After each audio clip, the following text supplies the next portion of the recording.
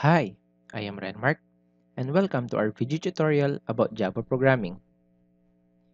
In this video, we will talk about Lesson 3, which is the Java IDE. So let's get started. So, what does IDE means? An Integrated Development Environment or IDE is a software suite that consolidates basic tools required to write and test softwares. Developers use numerous tools throughout software code creation, building, and testing. Development tools often include text editors, code libraries, compilers, and test platforms. So kapag sinabi nating IDE, this is a software kung saan tayo pwedeng makapag-code ng more efficient kasi present na lahat ng mga tools na kailangan natin para makapagsulat at makapag-run tayo ng ating mga source code. Unlike dun sa naging demonstration natin ng lesson 2, kung saan gumamit tayo ng isang simpleng text editor para makapagsulat ng code at Windows command prompt para naman makompile at run natin yung ating Java source code. The previous process is very hassle, especially kapag nagsimula na tayo magsulat ng mga malalaking piece of software. With the use of IDE, mas magiging madali na yung proseso natin ng pagkakode at ng testing. So, why is it recommended to use IDEs? Here are some of the benefits. An IDE can improve the productivity of software developers thanks to fast setup and standardization across tools. Without an IDE, developers spend time deciding what tools to use for various tasks, configuring the tools and learning how to use them. Many or even all of the necessary dev test or development test tools are included in one integrated development environment. As I was saying a while ago, yung ginawa nating pagsisetup ng environment variables at pag-compile at run ng Java source code sa command prompt ay hindi na natin kailangan pang gawin once na nakapag-install na tayo ng IDE. Kasi sa IDE na tayo magko-code at magko-compile ng ating mga programs which is far more efficient. Popular Java editors. There are more sophisticated IDEs available in the market, but for now, you can consider one of the following. The first one is NetBeans. It is a Java IDE that is open source and free. It can be downloaded from netbeans.org. The second one is Eclipse.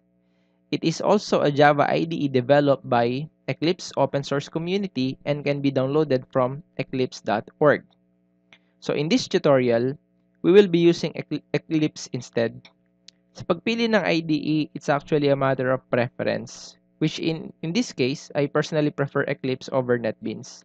Pero honestly, no one is better than the other because they serve the same purpose.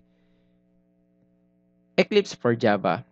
Eclipse is an open source integrated development environment supported by IBM. Eclipse is popular for Java applications development uh, and Android apps development. It also supports C or C++, PHP, Python, Perl, and other web projects developments via extensible plugins. Eclipse is cross-platform and runs under Windows, Linux, and macOS.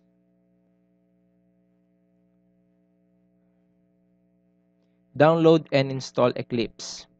You can download the Eclipse by visiting this link. Select and download the package that matches your system. Then you can install Eclipse to your system. In our case, we will just manually look for Eclipse using Google, so let's start. To download Eclipse, all we have to do is to open our browser and then search for Eclipse and then click the download link. So first, I'm going to go to Google and then I'm going to type Eclipse and then press enter and then as you can see here is the eclipse.org and you just have to click this one or that one uh, now as you can see uh, there's a button where a download link is available. So we're just going to select this and you're going to download the Eclipse. So next is you just have to match uh, the installer based on the platform that you're using. In my case, I'm using Windows and I'm going to download the 64-bit 64-bit version and then hit download. So after clicking download, there's a save button over, over here. You just have to hit this save and we'll just have to wait for the download to finish. Same with the uh, JDK a while ago. I already pre-downloaded uh, the Eclipse. So what we have to do is to double click to install this. We just have to double click the Eclipse installer. Once this window is loaded, we will going to select the proper IDE that will we will going to use. In our case, we will going to install Eclipse IDE for Java developers. So just have to click this one and then leave the, uh, the default path to this one and this one. So your option is to create uh, entry on the start menu and also to create a desktop shortcut. So typically, iniiwan ko lang uh, as it is yung mga yan. So you just have to click install and uh, accept the terms and agreements and as always, waiting game. Okay, so looks like the Eclipse installer is done. So we will just going to click launch. Okay, the Eclipse ID is now loading. Okay, so once na natapos nang mag-install yung Eclipse, lilitaw itong dialog box na to giving you the option kung saan mo balak i-save yung yung workspace. So if hindi mo gustong mag-save yan sa drive, so you just have to click browse and then uh, you look for a path sa kung saan mo siya gustong mag-save pero for the meantime, I will going to leave it as this one and then I'm going to click launch. And again, we just have to wait for Eclipse to fully load.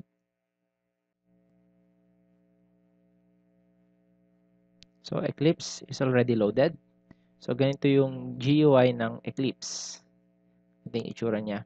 So uh, hindi naman siya ganun kahirap gamitin. So upon loading, you just have to click Workbench para makapagsimula na tayong makapag-demo. So, kagaya ng lesson 2, susubukan din natin magsulat ng isang basic na Java program lang para matest lang natin if okay yung ginawa nating Eclipse. So, to do that, we can create, create a Java project over here or you can go to File and then New and then Java project, kahit alin sa mga yan, parehas lang yan. And then, uh, you will going to be given the chance to put the project name, for example, I'm just going to put demo Java and then uh, hit finish. So, ganun lang. And then, so pansin nyo, medyo mabagal siya ng konti kasi naka sandbox lang ako. So, once na nakagawa tayo ng uh, pag natapos tayo dun sa mga lesson natin, to yung mismong actual device na yung gagamitin natin. So again, we create a class and then papangalanan natin tong my first Java program, same to sa kahapon. Then you have an option uh, to include this main method. So public static void main string arg. So if you check this, automatically the, the Eclipse will generate the main method para sa inyo. Pero ako, during classroom discussion sa mga estudyante ko, I discourage na i-check yan. Uh, bakit? Kasi uh, gusto ko ma-memorize nila ng paulit-ulit kung, pa- kung paano sinusulat yung main method. Para kahit hindi sila naka-eclipse, kahit simpleng text editor lang, kaya pa rin nila makapagsulat ng buong structure ng isang Java program. So, just have to hit finish.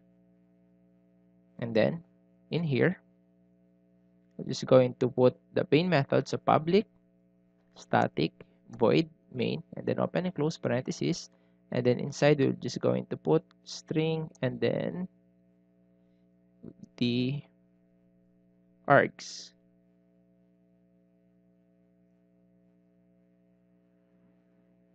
Okay. Next, we're just going to access the system class, so system dot out dot print and then we're just going to print hello world. Simula nung kahapon.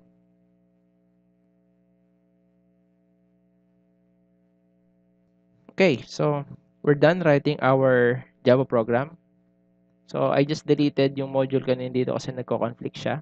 So to run this, just have to click run and then click run or control F11 if I'm not mistaken. And then you just have to click OK and then the output will be print out in this console window. That's it. It's very easy. Unlike do sa ginawa natin ng lesson 2, dito walang hassle. Bubuksan lang yung Eclipse.